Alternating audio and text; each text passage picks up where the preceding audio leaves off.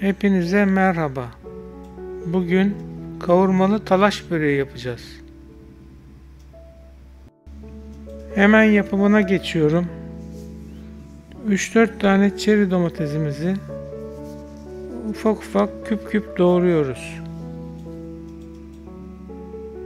2-3 tane sivri biberimiz var. Onları da ince ince doğruyoruz.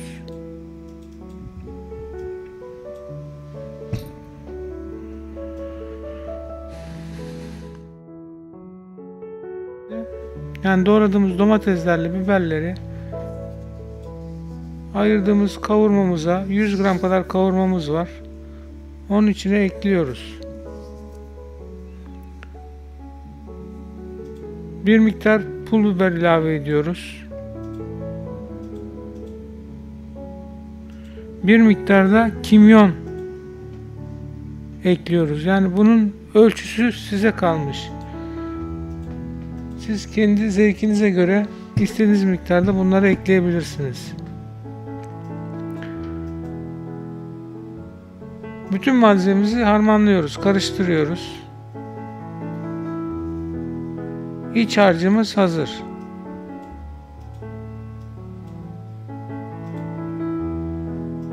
Dolaptan mülfe hamurlarımızı çıkarttık. 6 tane mülfe hamurumuz var.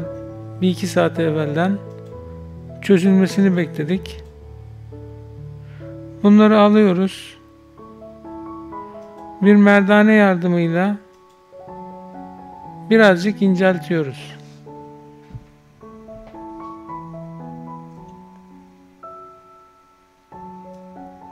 Milföy hamurlarımızı inceltiyoruz. Çok fazla değil.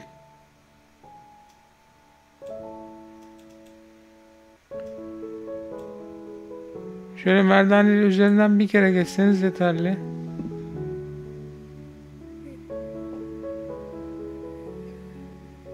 İçine aşağı yukarı iki, iki tatlı kaşığı malzememizden ekliyoruz. İç malzememizden ekliyoruz.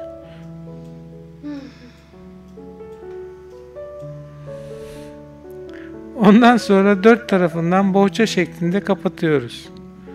Kapatıp kenarlarını yapıştırmamız lazım. İyice bastırarak hamuru birbirine yapıştırıyoruz. Sonra bu hazırladığımız bohçayı ters çevirerek yani ekli kısım aşağı gelecek şekilde yağlı kağıt koyduğumuz tepsiye diziyoruz. 6 tane milföy hamurumuzu da bu şekilde hazırlıyoruz.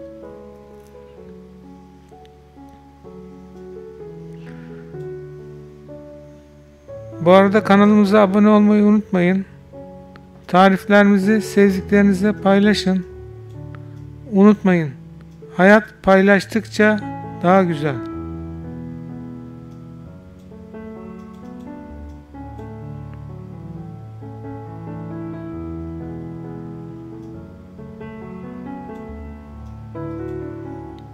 İyice kapatmamız lazım.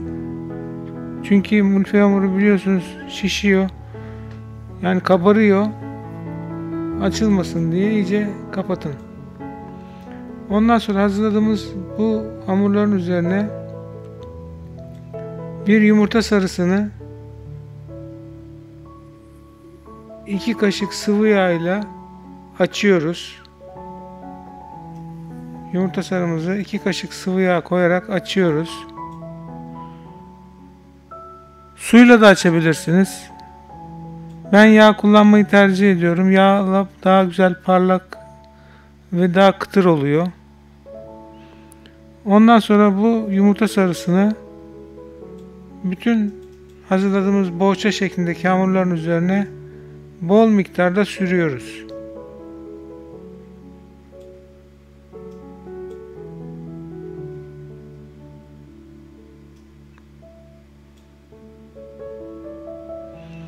Bu arada fırınımızı 180 dereceye ısıtıyoruz.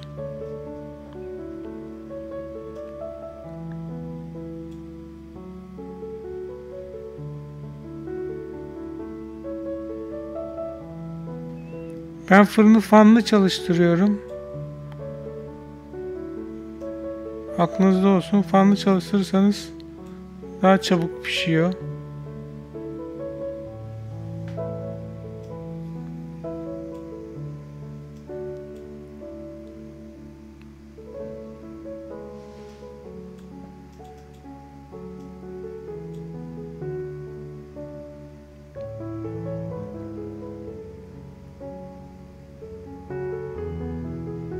Bütün malzememizi sürüyoruz.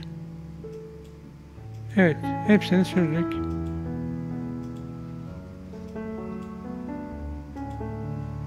Fırına atıyoruz. Üzeri kızarıncaya kadar pişiriyoruz. Aşağı yukarı bu yarım saat sürüyor. Evet, fırından çıkarttık.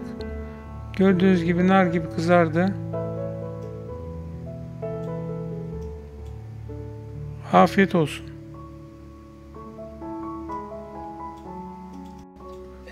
Bu arada belirteyim. Biz videoları genelde sonradan seslendiriyoruz. Bu videoda şöyle bir şey söyleyeceğim size. Fotoğrafını çekmek için bir tane böreği kenara ayırdım. Kesip fotoğrafını çekerken arkamı döndüm bir baktım diğer börekler yok. Kapanın elinde kalmış. Bana bir tane zor kaldı. Denemenizi tavsiye ederim. Afiyet olsun.